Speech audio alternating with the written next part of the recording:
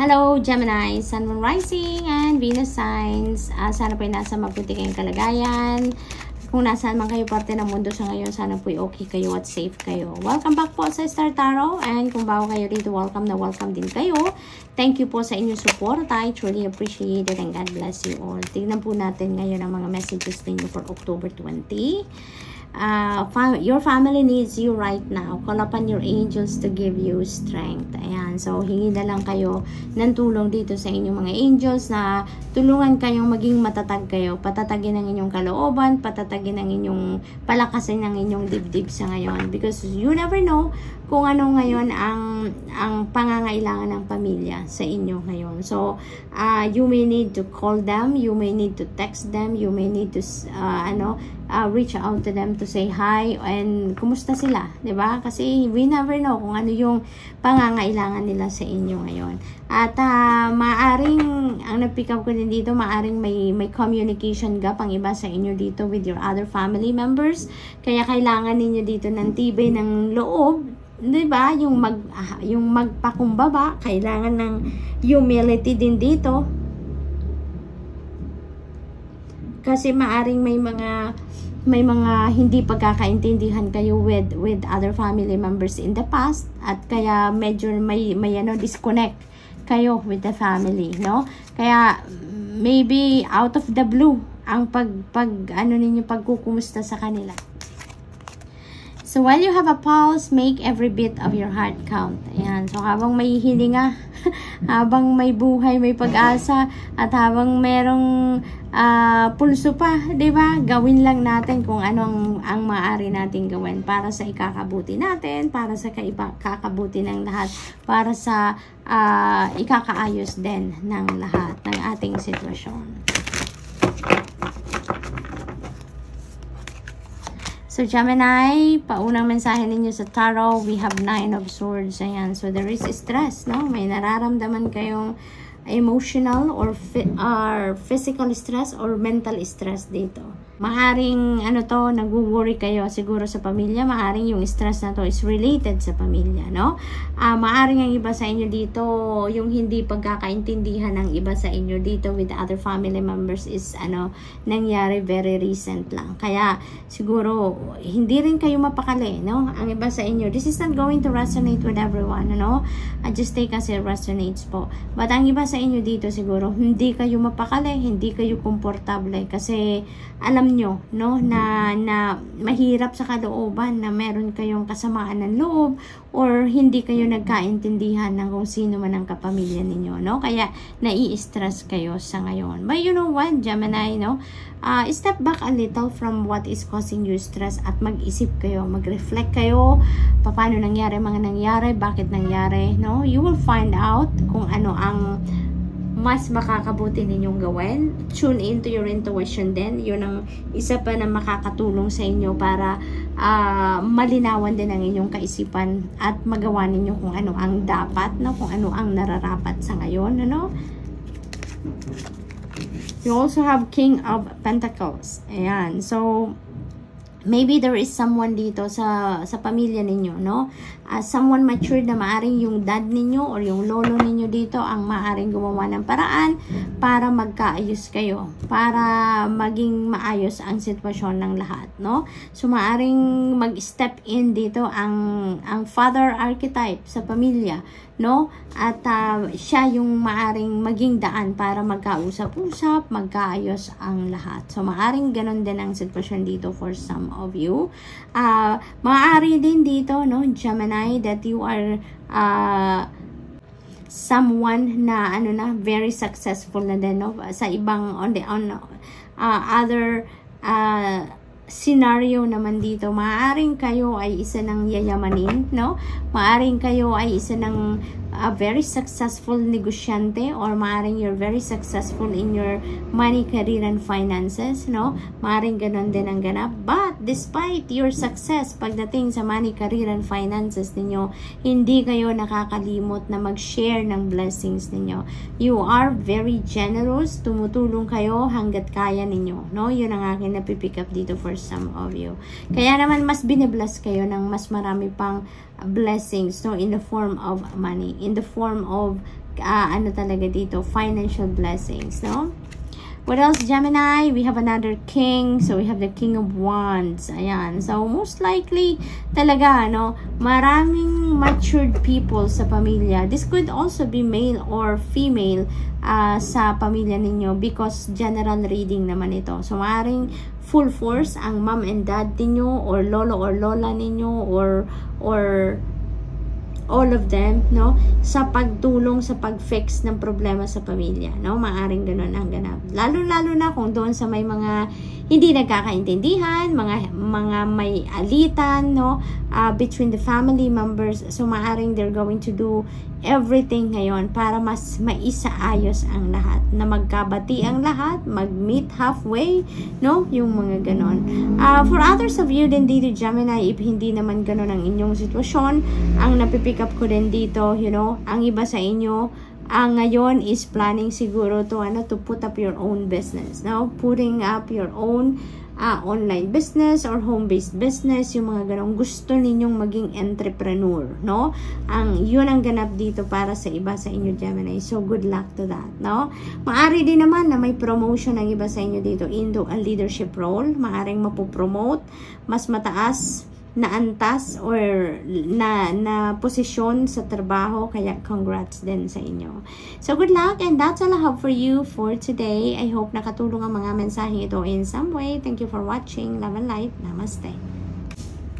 Hello Libra, Sun, Moon, Rising, and Venus sign. Sana po ay nasa mabuti kayong kalagayan. Kahit, kahit nasaan man po kayo ngayon ng aparte ng mundo, sana po ay safe kayo at okay kayo. Welcome back po sa Star Tarot and kung bago kayo rito, welcome na welcome din kayo. Thank you din po sa inyong suporta. I truly appreciate it and God bless you all. So, tignan natin kung ano mga messages ninyo for October 20. Believe in miracles, Libra. Kailangan ninyong maniwala sa mga miracles because miracles are about to unfold sa buhay ninyo, no? Kaya kailangan magtiwala kayo otherwise baka hindi ninyo ma-appreciate, no? Hindi ninyo ma-appreciate na mga miracles pala sila, na mga uh, magical moments pala ang nag-unfold na sa buhay ninyo, no? Uh, Libra, What else? We have your angels will only give you the challenges that you are capable of handling. Napakagandang mensahe ito sa inyo dito. Kaya, lagi ninyong tatandaan, no? Libra, hindi, uh, lagi ninyong ay uh, iisipin yan na hindi kayo bibigyan ng problema, hindi kayo bibigyan ng mga challenges sa buhay, o no, uh, uh, mga difficult situation kung hindi ninyo kayang isolve yan, kung hindi ninyo kayang i-handle yan, ano? So, tignan natin kung ano pa ang ganap.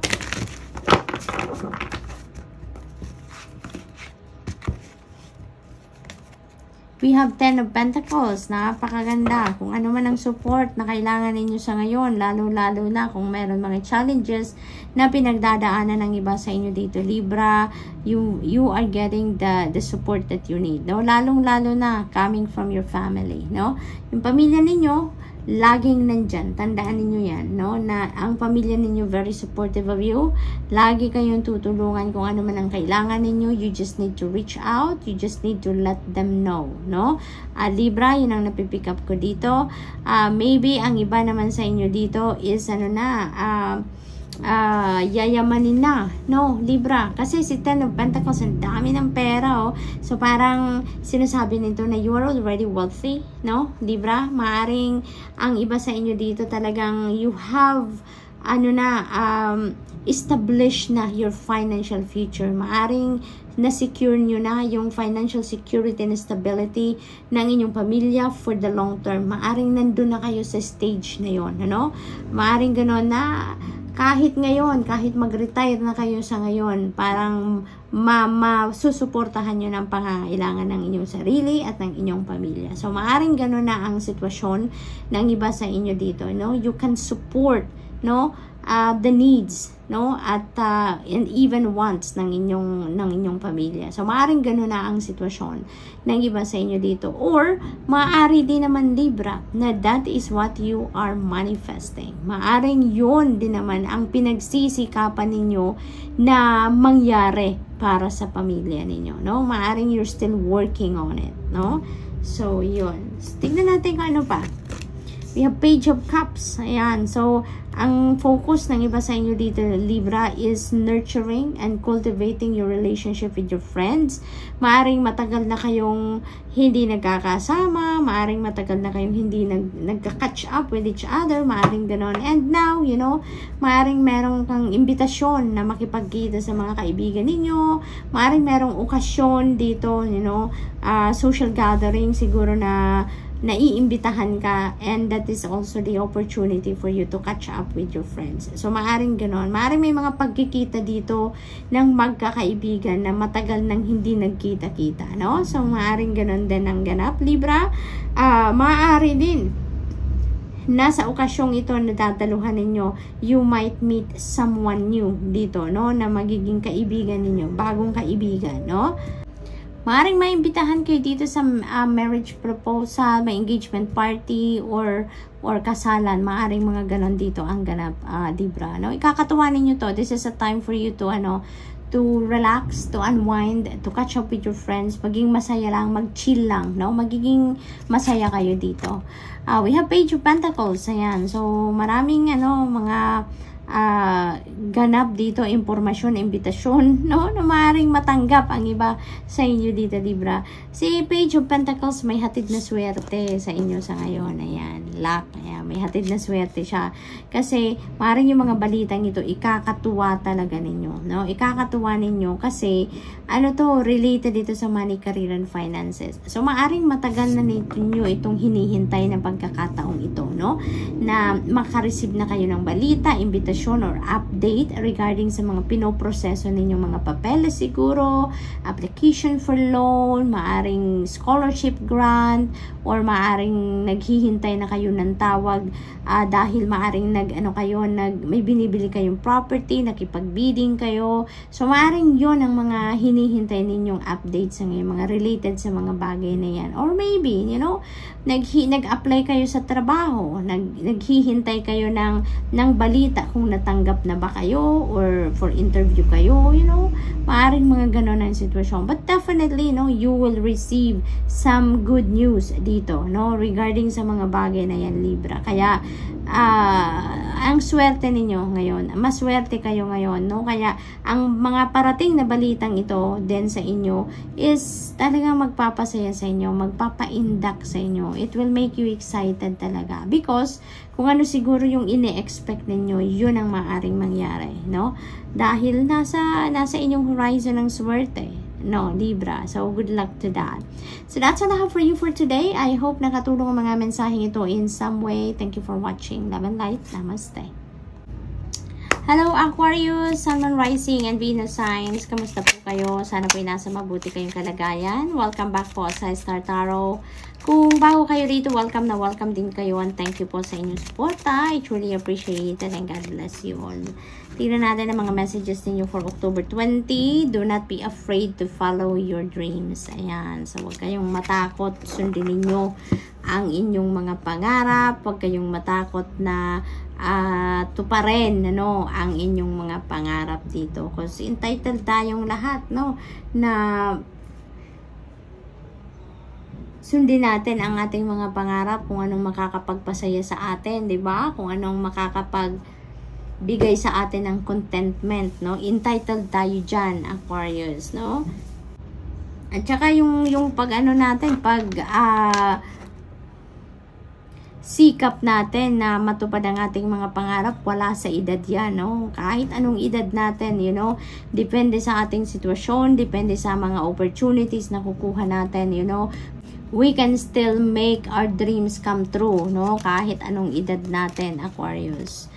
If in doubt, ask for inspiration from above. Ayan, kung nagdududa kayo sa mga balak ninyong gawin, kung nagdududa kayo or nagdadalawang isip kayo or naku-confuse kayo sa kung ano ang dapat ninyong isipin or gawin, what are the decisions that you need to make siguro, no? For some of you, ask for inspiration from above. Always, ano, um, call in the help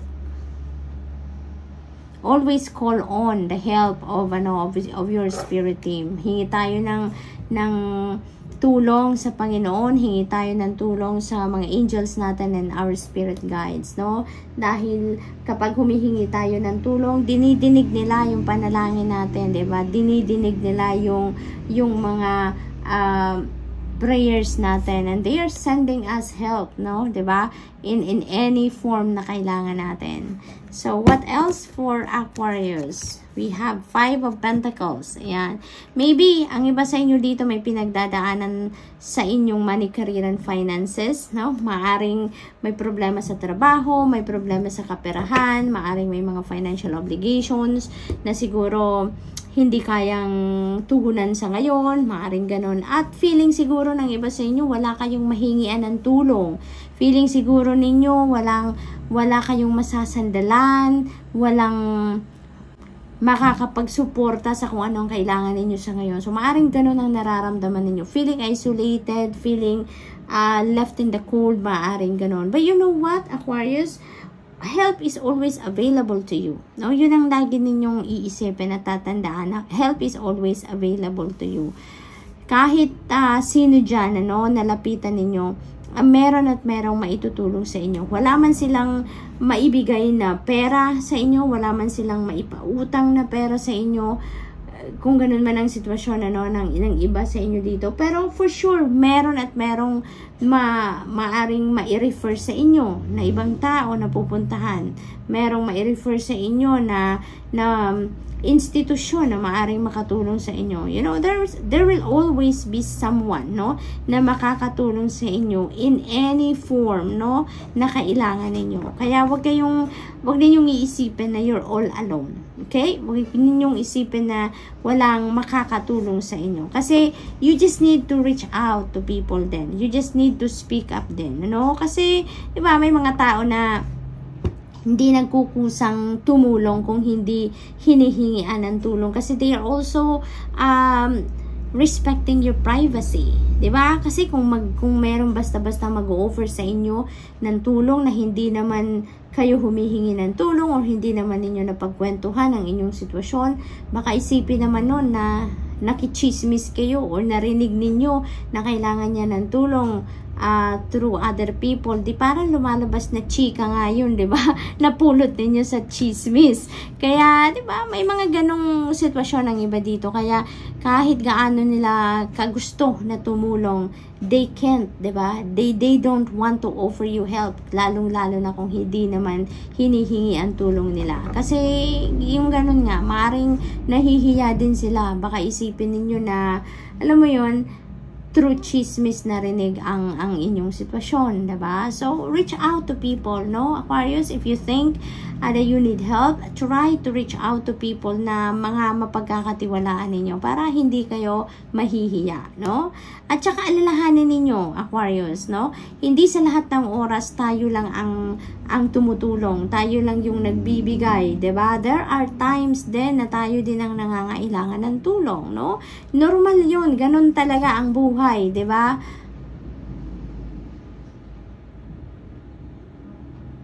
That's generosity energy. Cycle lang yan. Minsan tayo yung hihingi ng tulong, tayo yung magre-receive ng tulong. Minsan naman, kung tayo naman ang merong maibibigay, tayo din naman ang tumutulong. Okay? Kaya huwag kayong mahihiya. Okay?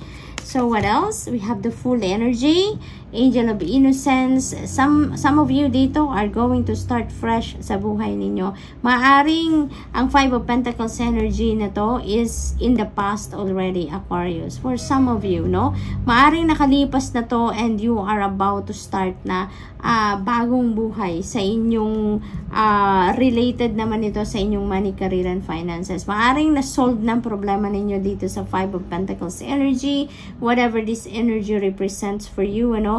Maring nakalabas na kayo sa sitwasyon na to and now you're about to start fresh. No, maaring may bago na kayong trabaho, maaring magsisimula na kayo ng sarili ninyong business venture, maaring meron bagong career um, path na lalakaran ng iba sa inyo dito, Aquarius, maaring ganun ang sitwasyon. Ano? So, there is a new uh, beginning dito, new beginning for for some of you, Aquarius. No? Maaring related yan dito sa inyong money, career, and finances. It could be also in, in different areas, no? Depende rin sa inyong sitwasyon.